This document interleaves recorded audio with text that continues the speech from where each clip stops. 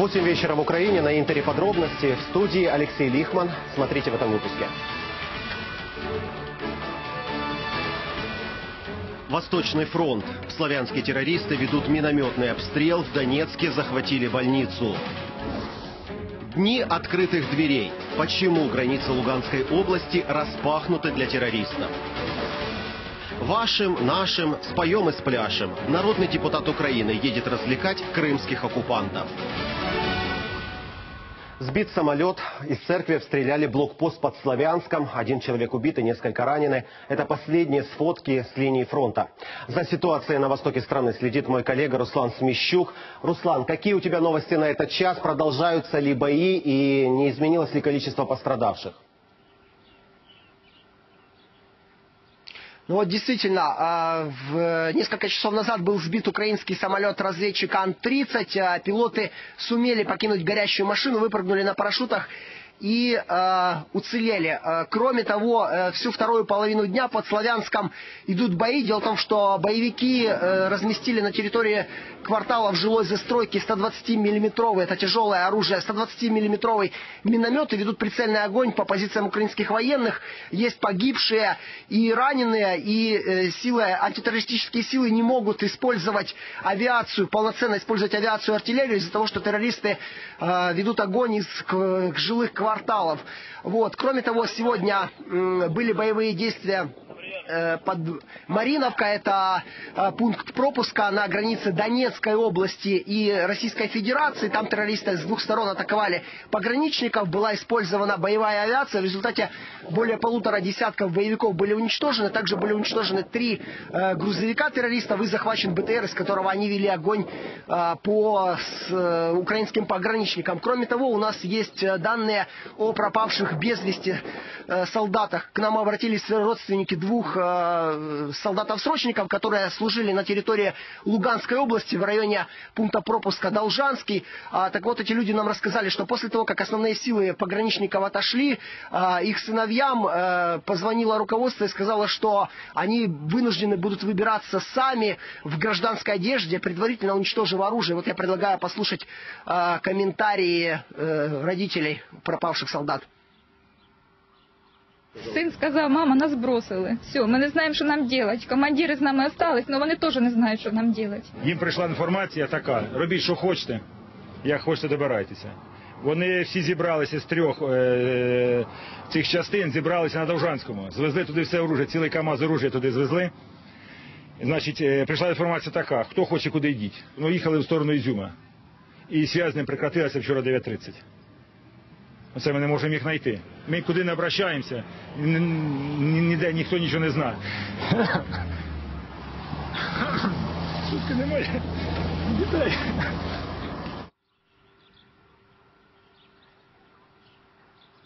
И вот э, эти люди рассказали, что куда бы они ни обращались, э, в милицию и к, э, в военные структуры, э, там э, не только не знают о судьбе их э, детей, но и особо не интересуются этим вопросом. Студия.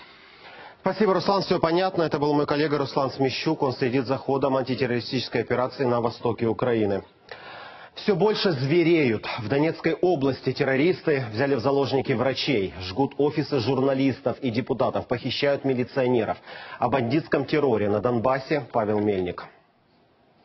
Террористы берут больничный. В Донецке они захватили корпус областной больницы имени Калинина. По периметру автоматчики пациентов выгнали, врачей оставили. Кого и как собираются лечить, бандиты не сообщали.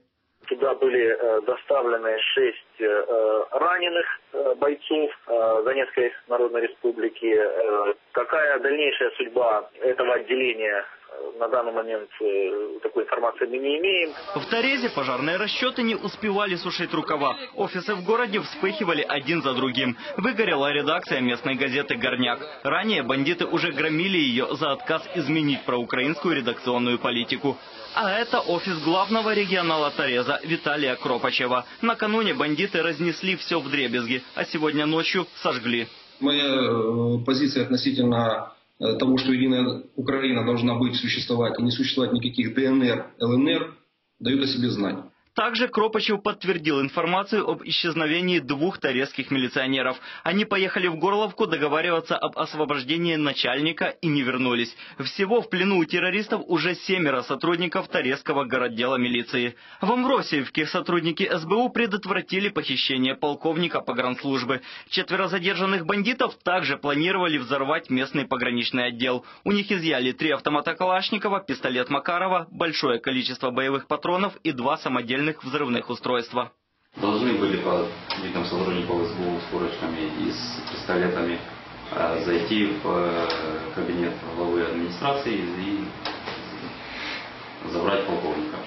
Информация, что террористы в Краматорске захватили детский дом и прикрываются от сил АТО младенцами, не подтвердилась. Дом ребенка живет в обычном режиме. Все дети находятся на своих местах. В доме ребенка у нас на утро 60 детей. В детском доме Рощица и детском Краматорском приюте, по нашей информации, тоже все спокойно. Павел Мельник, подробности, телеканал Интер. Террористы подорвали последний мост, соединяющий север Луганской области с Лисичанском. Украинские военные отвечают атакой с неба. Последние новости из этой горячей точки прямо сейчас. Воздушная атака в Луганской области уничтожены две базы боевиков. Одна из них – блокпост вблизи станицы Луганской и лагерь террористов на одной из турбаз. Обстрел начали рано утром. Зашли четыре самолета Су-25. Открыли огонь кассетными ракетами по нашему лагерю. Наших двое тоже пострадало. Но известно, жертвы среди террористов есть, но сколько именно – непонятно. Знищено дві вантажівки з боєприпасами. Ще одна вантажівка з боєприпасами пошкоджена. Внаслідок чого прикордонникам дісталося 105 ящиків з боєприпасами. Крім того, був пошкоджений один БТР. Сепаратисты подорвали очередной, уже четвертый ЖД-мост через Северский Донец. Это была последняя переправа, соединяющая Лисичанск с севером области. А российские каналы сегодня показали. Пункты пропуска Дьякова и Должанский контролируют боевики. Украинские пограничники просто покинули боевые посты. Сегодня же Волчевский захватили здание СБУ. В этот момент там был только дежурный, он не пострадал. Тем временем Болотов разрешил своим террористам убивать людей без суда и следствия. Мол, преступлений стало больше, а милиция не справляется. Поэтому будут расстреливать тех, кого считают преступниками прямо на улицах. Эксперты анализируют шокирующее видео, на котором по команде террориста Беса якобы расстреливают офицеров СБУ. Заподозрили. Постановка. Один из мужчин в белоснежной рубашке, и это после нескольких дней плена. И пятна крови после выстрела на ней не появились. Лиц тоже не показали. Да и сам выстрел, судя по звуку, холостой. В СБУ это видео нам не комментируют уже второй день. Всего в руках террористов и в Луганской и в Донецкой областях, по их словам, около 200 человек. На железнодорожном вокзале очереди. Люди пытаются покинуть опасный регион. Алена Центила, подробности телеканал Интер.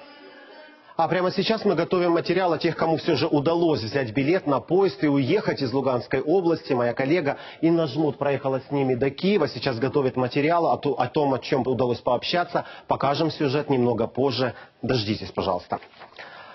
Обещанного перекрытия границы с Россией нет. Пункт пропуска Должанский в Луганской области. Один из восьми КПП, которые вчера покинули украинские пограничники. Кто занял их место и какова ситуация возле погранзаставы, посмотрите, что увидели наши журналисты.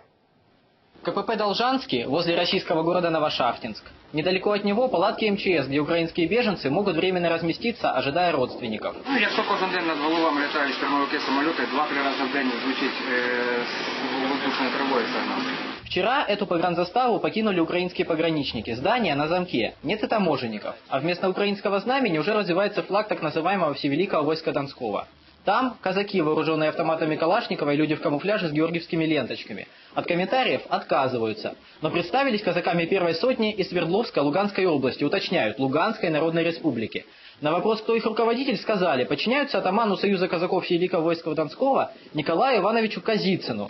Никакого пограничного контроля они не ведут, пропуская граждан обеих стран как в Россию, так и в Украину. Машины проезжают спокойно, они эти ополченцы не проверяют никаких документов. Даже вот мы сейчас находимся на территории Украины незаконно. То есть у нас нет миграционных листов, э, мы не заполняли никаких бумаг, э, просто показали паспорт, они нас пропустили, сказали, просто вы идете сюда на свой страх и риск. При обратном пересечении погранзаставы вооруженные казаки поторопили нас, сказав, что по их информации на КПП готовится авианалет. Кирилл Кривошеев, Ростовская область, специально для телеканала «Интер». Что творится на границе Украины с Россией? Мы спросим у первого замглавы погранслужбы Украины Павла Шишолина. Здравствуйте, спасибо, что пришли, в отличие от вашего начальника. Хотелось бы ему сразу передать привет Николаю Литвину. Больше недели мы просим его стать гостем программы «Подробности». Он почему-то нас игнорирует, возможно, вы знаете почему. А, давайте сразу к делу. Почему вы допустили, что на границе Луганской области дырка на дырке? Э, Здравствуйте, спасибо за то, что я присутствую на вашій сьогоднішній передачі. Я хочу сказати, що Ніколай Літвін ніколи не уходить від спілкування з пресою. На даний момент він знаходиться на раді, виконуючи обов'язки ще президента в місті силовиками. Она, идет, не- она? Вона щоден, щоденно Да, давайте ближе да. к ситуации все-таки. Одночасно, так. Да. Ну, якщо запросили, то давайте ж будемо вести розмову. По-перше, я хочу подякувати своїм прикордонникам, особливо в межах Донецького Луганського загону, які виконують свої завдання по охороні державного кордону. І виконують з честю. По-друге, обстановка на кордоні вкрай складна. Вона характеризується кількома чинниками. Перший чинник. На протязі двох останніх місяців на кордоні службу в контрольованих прикордонних районах на протяжності 500 кілометрів на напрямках найбільшої активності бандитів прикордонники стоять одні. Ні одного солдата Збройних сил, Національної гвардії, міліції, Служби безпеки, ні одного офіційного представника влади України там немає. Це по-перше. По-друге, всі підрозділи Державної прикордонної служби знаходяться в обозі. Вони оточені, вони прикриті, здійснені напади на прикордонні наряди, розстріляні прикордонні наряди, блокуються дороги до місця несення служби. Тому я офіційно вам заявляю, на сьогоднішній день на низки напрямків державного кордону ми не здійснюємо повний контроль обстановки. Подготовку вы провели соответствующую военному положению или нет? Я вам Или хочу сказати, для того, щоб провести підготовку відповідно до обстановки, необхідно для того, щоб був задіяний весь державний ресурс. Охорона державного кордону це сукупність загальнодержавних заходів, які включають в себе дипломатичні, воєнні, організаційні, військові, правоохоронні. На жаль, сьогодні на кордоні тільки один аспект правоохоронний Державна прикордонна служба України. Помощь, І тому- помощь от сил АТО? Я вам ще раз говорю на сьогоднішній день, ми одні на кордоні. І тільки вчора перший випадок, коли відбувся напад до 200 чоловік на пункт пропуску Маринівка, ми змогли доказати народу України, якщо є взаємодія між АТЦ, Збройними силами, авіацією, наземними силами, які прийшли, ми могли вщент розбити от таке величезне угрупування, яке тікало на територію Російської Федерації. Більше 20 чоловік лежать в моргах, залишили БТРи, залишили Ну, на сьогодні маємо те, що маємо. Я ще раз хочу дай Бог, на що через два місяці- сили і реальні механізми вернуть контроль над границей. Точно. Я вам хочу заявити, що про ті три пункти пропуску, які сьогодні йде от розмова, вони будуть найближчим часом повернуті. Український прапор над ними буде. Це буде зроблено силами, тими, які сьогодні формуються за, расун- за рахунок Збройних сил, Національної гвардії, за рахунок МВС і прикордонників. Робота вже йде. І ми по новому лінію державного кордону. Що стосується, дозвольте інформацію, яку я хотів би наголосити. Вчора урядом за поданням Державної прикордонної служби було припинено тимчасово у відповідності до 10 статті угоди між Україною і Російською Федерацією про пункти пропуску. Пропуск через державний кордон в восьми пунктах пропуска. В чотирьох міжнародних, в чотирьох місцевих пунктах пропуску. В п'яти пунктах пропуску ми знаходимося, знаходяться контрольні органи. Пропуск не здійснюється. В трьох пунктах пропуску на сьогоднішній день ми зможемо тільки оперативно контролювати ситуацію. По оперативній інформації на сьогоднішній день, яку ми отримуємо, вона, на жаль, дещо мінімальна. Пропуск там не здійснюється. Російська сторона заявила, що вона буде виконувати угоду про Ну, не здійснення пока как пропуску. исполняет, мы мы же только Ну, что с вами я видели, вам сказал скажите. про то- Очень кратко последний вопрос. Российские СМИ, пропагандистские СМИ заявляют о том, что из Луганской области наши пограничники бегут целыми отрядами, с семьями и просят э, укрытия в России. Вы можете это по- подтвердить или Опровергаю опровергнуть? повністю. Це російська інформація, яка вже давно розповідає небелиці про діяльність Державної прикордонної служби, про діяльність в цілому українських силовиків і правоохоронців на території України. Я підтверджую один випадок, коли на пункті пропуску Довжанський, після силового зіткнення, ми вимушені були перейти через територію Російської Федерації в інший пункт пропуску на територію України. Я підтверджую цей факт. Но речь не идет о Річ не йде. Ці политическом люди, движении. 23 Я чоловіка, понял. сьогодні, вчора в Міловому прибули і приступили до виконання завдань в пункті пропуску Спасибо за Мілового. эту беседу. Граница с Луганской областью и Россией скоро будет перекрыта, пообещал Павел Шишолин, первый замглавы погранслужбы. А вас я хочу Мы поздравить с продолжим. праздником профессиональным. И спасибо огромное. за вашу работу. Спасибо огромное.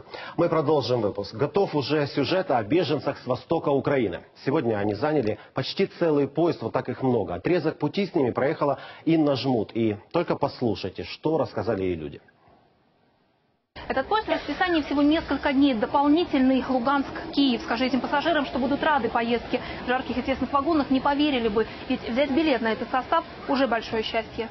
Им все равно, что де юре войну никто не объявлял. Если над головами свистят пули, иначе и не назовешь. 17 вагонов, в каждом есть беженцы. С собой я везу, честно говоря, не особо много всего. Э, Там всякие гигиенические принадлежности, один комплект одежды. Вагон номер 13 – места у туалета. Но и это не умолило стремление двух луганских журналистов Сергея и Игоря уехать. Мне прямо сказали, что мы увидим тебя, поубиваем тебя и твоего этого дружка, ну, имею в виду мо- моего коллегу. А, и, то есть, вот такая вот, такая вот прямая угроза. Телеканал «Ирта», где работал Сергей, закрыли. На их частоте теперь вещает российский. Наши журналисты не выдержали давления. Кто и против чего протестует в их городе, они уже не понимают. Потому что а, вот эти люди, которые пришли, да, и так называемые ополченцы, а, как бы они сначала воспринимались, как будто это кто-то свой, да, но чем дальше, тем вот как бы люди спрашивают друг у друга, ты кого-нибудь оттуда знаешь, ты знаешь кого-нибудь оттуда, твой сосед, может родственник. Э, Нет, если есть, то очень мало таких людей. В каждом вагоне едут целые семьи. От чего, показывает Руслан из Перевальска. Это город Перевальск, кафе «Торнадо».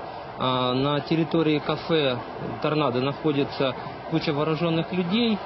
А В основном это, э, как они пишут на машинах, на стеклах, на машинах стеклах, написано «Донское казачество». В поезде немало людей из Донецкой области. Прямого сообщения с Киевом нет, выезжают на перекладных. Жуткая атмосфера в городе, нет людей. Страшно выйти на улицу, потому что постоянно слышны э, взрывы и выстрелы. Валерия из Славянска ходила на референдум, ставила галочку за Донецкую Народную Республику. Уверяет, явка была процентов 80. Теперь же 50% жителей из города уехали. Люди пошли, люди побежали еще в начале.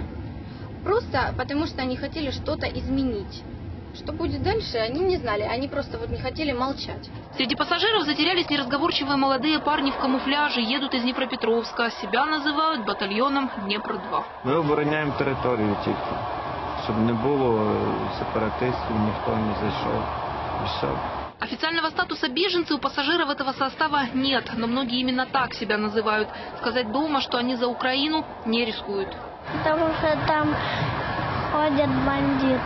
Маленький Кирилл полдороги ехал, укрывшись украинским флагом. Эта семья его взяла с собой в Житомирскую область. Там их приютят в пансионате. Пансионат, в гости к родственникам едут кто куда может, надолго ли. Отвечать боятся, было бы куда возвращаться. Вот и Сергей с Игорем надеются, что в Киеве им повезет. Вот как раз в день журналиста, то, что я приехал в Киев, это как раз символично, то, что мы все приехали в этот день, так что э, пусть киевские работодатели ждут нас. Инна Жмут, Андрей Костюк, подробности телеканал Интер. В Одессе сегодня первая волна беженцев из Донецкой и Луганской областей. Поезда переполнены. Чиновники и общественники работают в авральном режиме. В первую очередь расселяют социально незащищенных. Продолжит Андрей Анастасов. На Одесском вокзале столпотворение. Сразу несколько сотен детей. Это воспитанники интернатов Луганской области. На море они будут отдыхать, по крайней мере, до конца августа. Все расходы взяли на себя местные власти. Все дети, все 497 будут в одном оздоровительном центре Сергеев.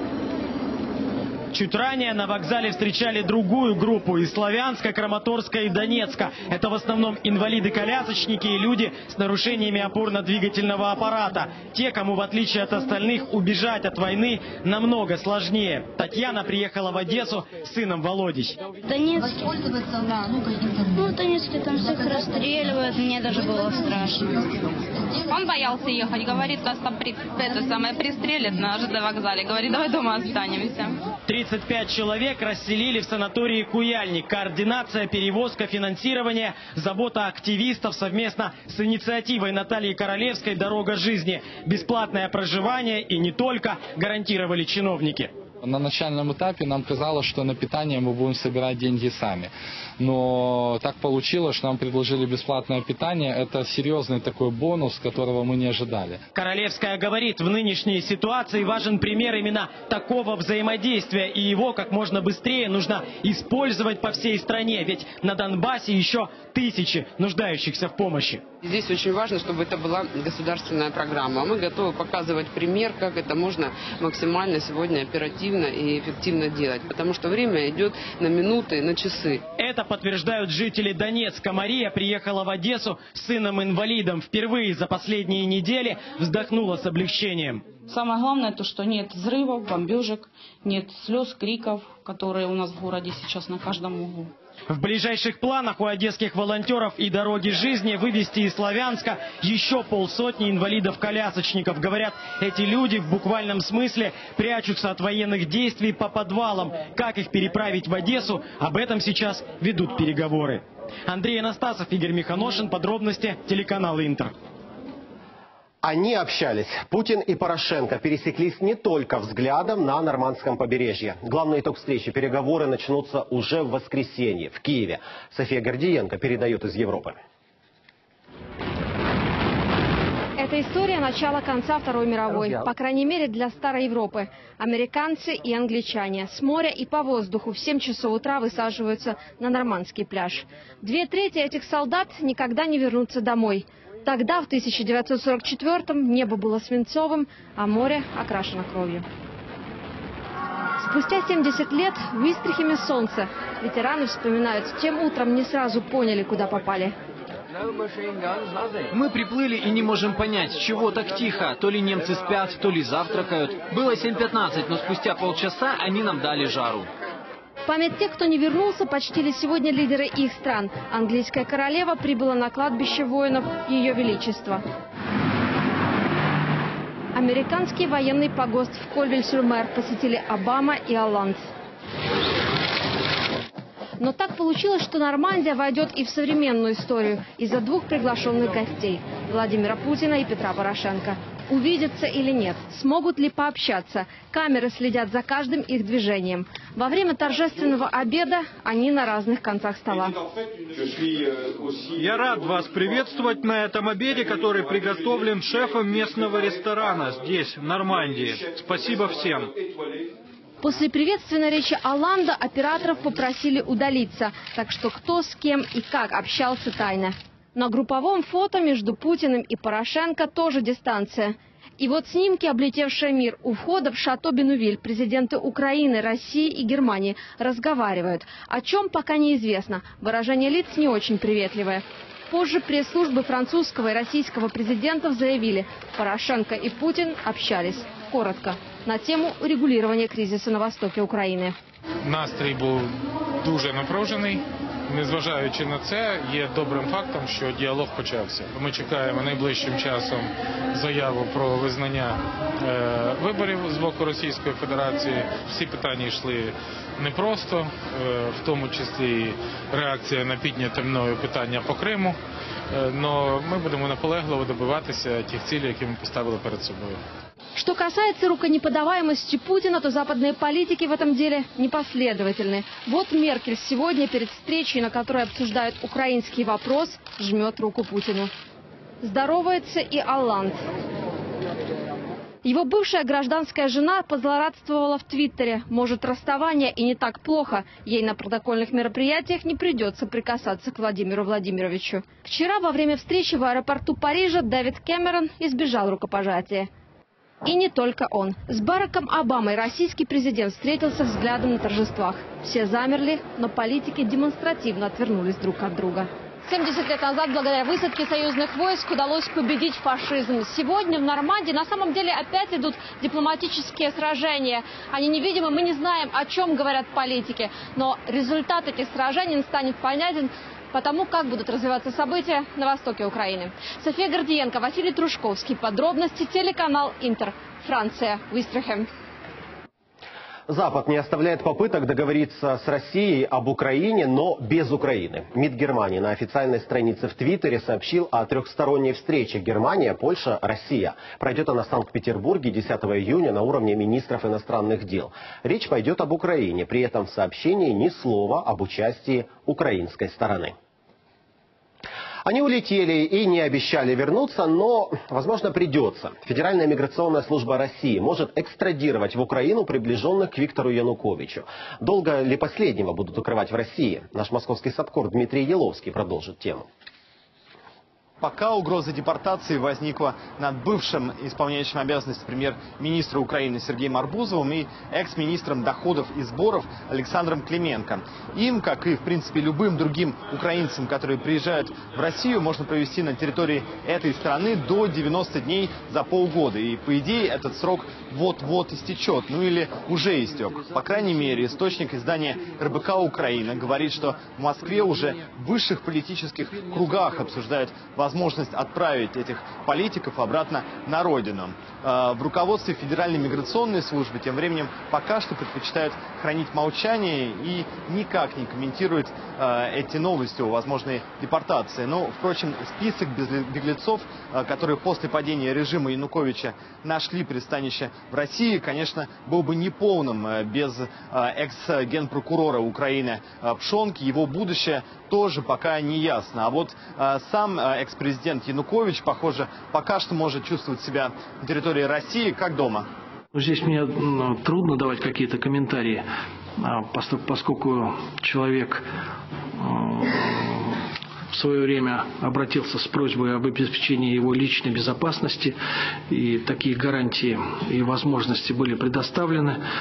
По некоторым данным, и один из самых молодых украинских олигархов, близкий к экс-президенту Сергей Курченко, тоже нашел приют на территории России прессе говорят о его теплых отношениях с российским бизнесменом и главой компании «Базео» Олегом Дерипаской. Говорят, что у них давние деловые и дружеские связи. А учитывая, что Курченко недавно вложился в покупку сети автозаправок на территории Крыма, о его будущем в России, в принципе, можно не беспокоиться. А вот еще один близкий к Януковичу чиновник Андрей Портнов, это э, бывший э, первый заместитель главы его администрации, на днях заявил, что собирается вернуться в Украину и более того продолжить там свою политическую карьеру. Но, правда, с небольшой оговоркой Портнов собирается сделать это не в ближайшее время, а лишь когда спадет опасность. Пока же на территории Украины его ждет несколько уголовных дел, а в Европе замороженные счета. Но, впрочем, попадание в черные списки и с Портнов, как и другие члены команды Януковича, собираются оспорить в суде. Дмитрий Иловский, Олег Неведомский. Подробности Московское бюро телеканала «Интер». Пашинский ушел из администрации президента, подал заявление на имя Турчинова. Теперь снова вернется в Раду, ведь мандат предусмотрительно все эти месяцы он не сдавал. Не заметили в парламенте сегодня Александра Ефремова. Вчера его обвиняли в пособничестве террористам, напомню, а подробности интересовались, не сбежит ли он из страны. Вылетел из парламента и один из российских журналистов. Вот кто его пинками провожал, видела Екатерина Лысенко. На площади перед Верховной Радой с самого утра готовятся к завтрашним торжествам. Напротив входа вешают герб. Привезли декорации, аппаратуру, красную дорожку. Она пока под черной пленкой. Подготовка и внутри парламента, в кулуарах много техники. Готовится и Турчинов. Сдать пост. С улыбкой говорит о своем последнем рабочем дне. В онлайн режимі продовжую фактично координувати боротьбу з тероризмом на сході країни, ну і багато інших питань. Але я сподіваюся, що завтра вже новообраний президент очоливши країну, гідно буде займатися всіми цими проблемами і розв'язувати їх. І нардепи надіються здохнути облегченням.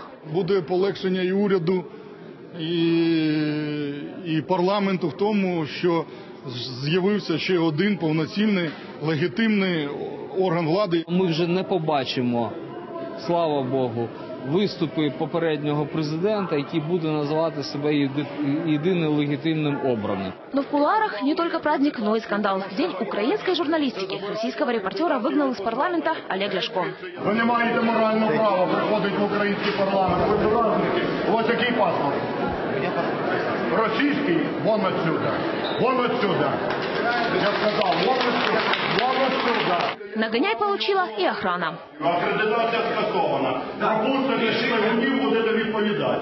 Потери и у регионалов. Из фракции вышли еще два нардепа. Итог – минус 22 депутата за неделю. К слову, лидер фракции Александр Ефремов сегодня здесь так и не появился, несмотря на обещания. Зато в куларах загорелый лидер коммунистов Петр Симоненко. Он только что из Барселоны, но убеждает, крымский пляж на европейский не менял, а летал на переговоры с семьей на 10 дней. Я за півтора тижня закінчив е, повністю переговори, які у мене відбулися з лівими партіями Європи. В самом зале работа не кипит. В повестке дня в основном законопроекты в первом чтении, лишь один в целом об упрощении закупок для Минобороны. Голосовали снова после уговоров. Прошу всіх закликати до залу, шановні колеги, і припинити гуляти в куларах. Приняли со второго раза, но главное сегодня – отчет правительства за первые 100 дней работы. Ми вистояли. Главное, дефолта избежали, говорит Яценюк. Впереди еще борьба с коррупцией, судебная реформа, децентрализация власти, изменения в Конституцию, бюджетный кодекс, объединение страны. Но у депутатов уйма вопросов. Главный, куда пошли миллионы, которые люди собирали на армию, и миллиарды из бюджета. Ми тільки БТРів купили майже на 600 мільйонів гривень. Я не кажу вже про стрілецьку зброю, про 5 тисяч бронежилетів, які купила Національна гвардія. Купили 500 там бронежилетів. Якої якості ці бронежилети, якого вони ступеню захисту? Сьогодні ми почули тільки цифри, які мало про що говорять. Занадто мало було часу ем, для того, щоб почути відповіді на всі запитання, бо питань дуже багато і в економічній царині, і соціальної справедливості. Екатерина Лысенко, Ирина Романова, Владимир Самченко, Юрий Романюк. Подробности телеканал Интер. Эксперты подсчитали, как изменились основные экономические показатели за 100 дней работы правительства Яценюка.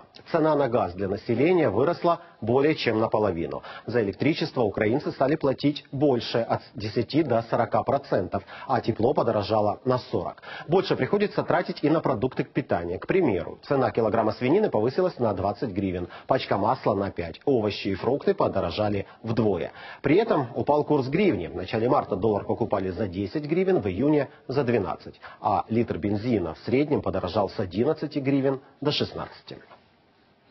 Почем машина из Кабмина? Правительственный аукцион во второй части выпуска. Не пропустите. ВИП-авария в Днепропетровске. Ответят ли экс-губернатор и нардеп по закону? Иногда лучше молчать. За сколько серебряников украинские звезды согласны развлекать крымских оккупантов? Раз, два, три, продано. Кабминовские машины пустили с молотка. Первый открытый аукцион по продаже авто из гаража правительства прошел в Киеве. Не продешевили ли и не разошлись ли машины среди своих, проверял Максим Кошелев.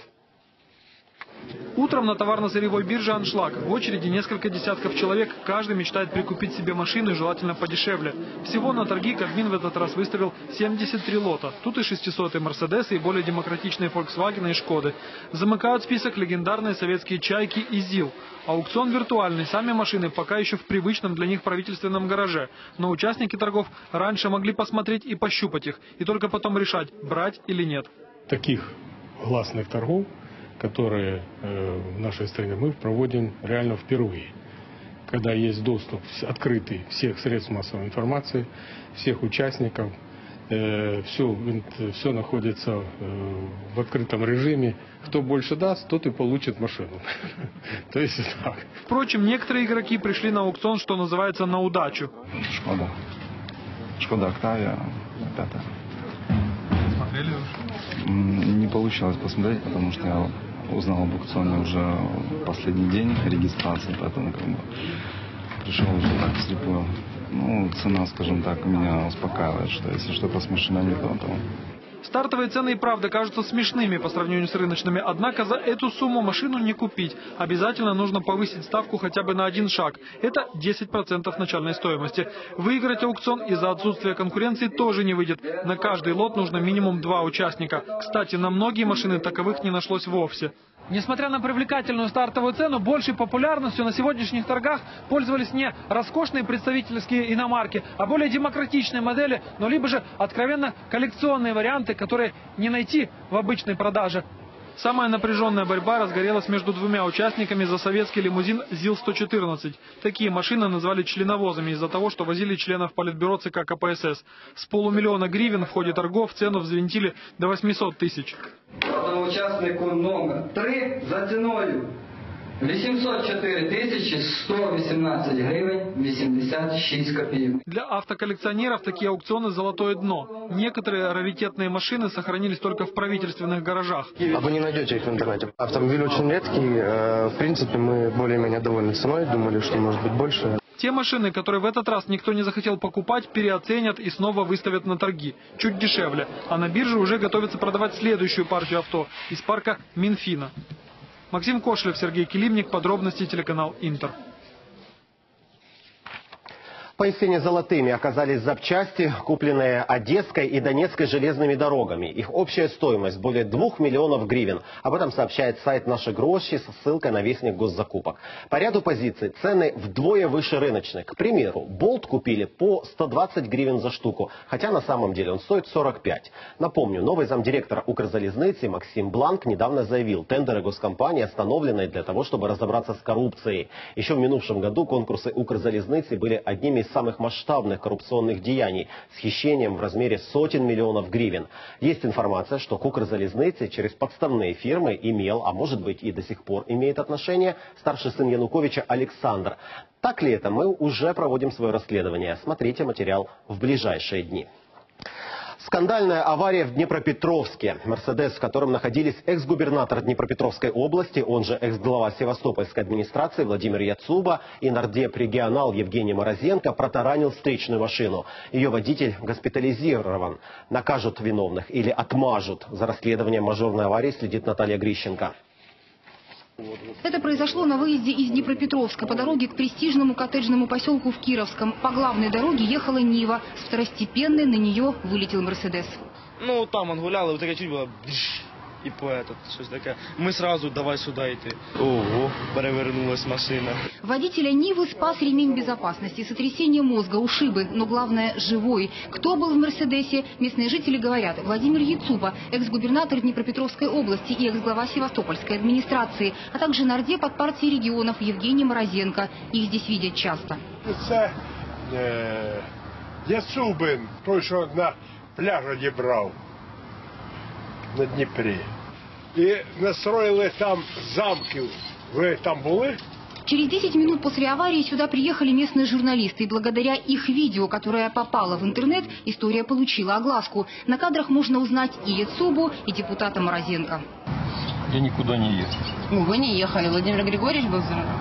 Владимир Григорьевич тоже никуда не ехал. Журналист, которая задавала неудобные вопросы, говорит, очевидцев на месте ДТП было много. Они рассказывали, оба ВИПа были нетрезвыми. Поначалу собирались сказать об этом на камеру, потом все как один отказались. Люди, которые за эм, вне камеры, да, кивали головами и говорили, да, я видел, вот он вышел оттуда, а этот вышел оттуда. Как только мы подходили, говорили, не, а мы только что подошли, нет, нет, нет, нас здесь не было. Пострадавший водитель Нивы тоже молчит. Следствие внезапно заявил, претензий не имеет. И вот как эту историю комментируют сегодня в милиции.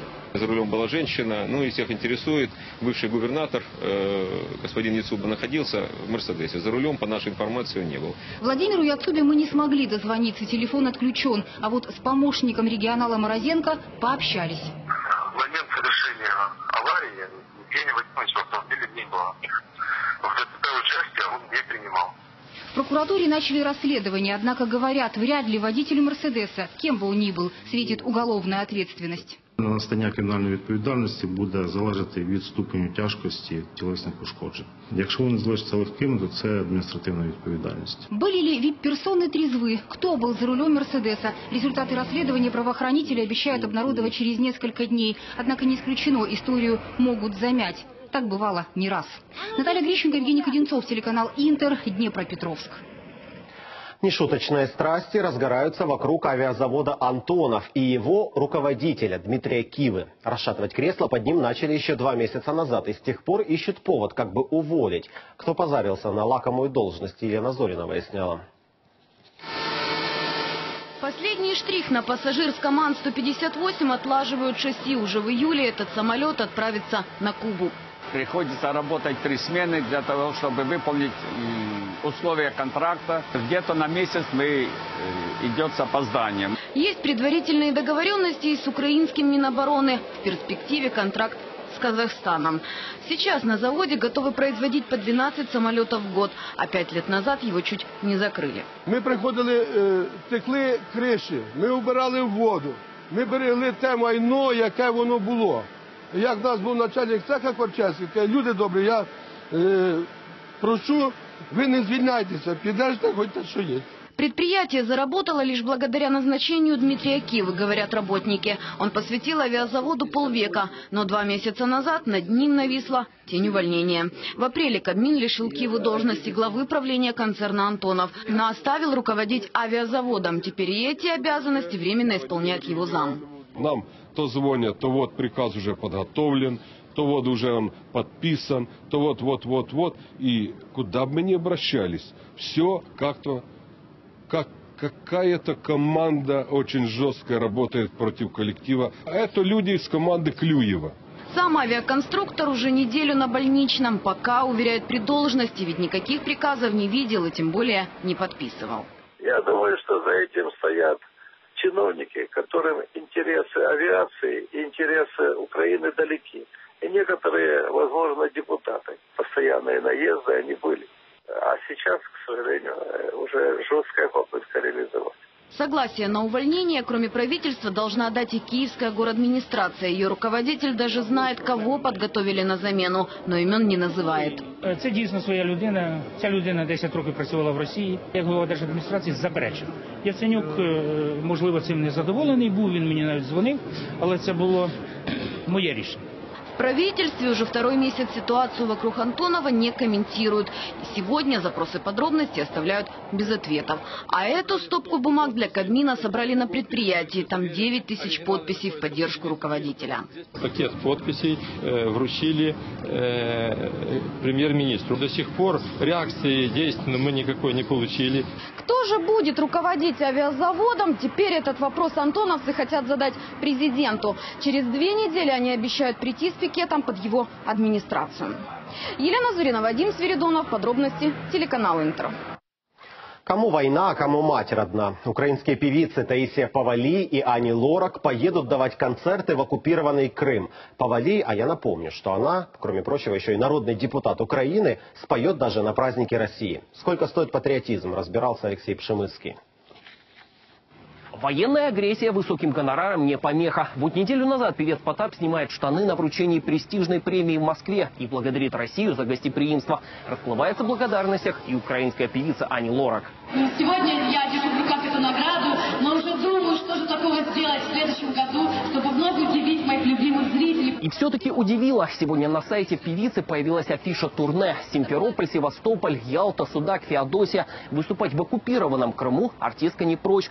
Отправиться в турне на полуостров планирует и Таисия Павали. Народная артистка Украины и народный депутат. Будет петь в оккупированном Крыму на празднике России для оккупантов. Муж певицы и ее продюсер уверяет, никакой политики здесь нет, только бизнес. Мы очень давно подписали э, контракт об участии в этом фестивале. Музыка и песни, они наоборот, они э, должны объединять народы. Нам надо снизить вот этот уровень, градус негатива, показывать хорошие песни. Некоторые нардепы уже высказались за то, чтобы лишить Павали мандата, если она таки споет на празднике оккупантов, а коллеги по цеху удивляются. Когда гибнут люди, шоу-бизнес не имеет значения. Я не поеду на полуостров, пока он снова не станет нашим. Интернет сразу разразился гневными комментариями в адрес певиц. Понимает ли Лорак, что после выступления в Крыму ей, как бы в Киеве, делать нечего? Гроші головне, мораль і патріотизм пусті слова. Краще би виступили перед нашими солдатами на Донбасі. А еще вспоминают артиста Вахтанга Кикабидзе, который в ответ на агрессию против Грузии в 2008-м отказался от Ордена Дружбы и до сих пор не выступает на территории агрессора. И пока артисты готовятся петь под возгласы «Россия», украинские военные в Славянске поют под свист пуль. И кому как не им сейчас нужна поддержка наших звезд. И что-то там еще... Правда, гонорары и престижные премии там вряд ли светят. Алексей Пшемыский, Вадим Свиридонов. Подробности. Телеканал Интер. Выпуск на этом закончен. Спасибо вам огромное за внимание и до встречи на Интере.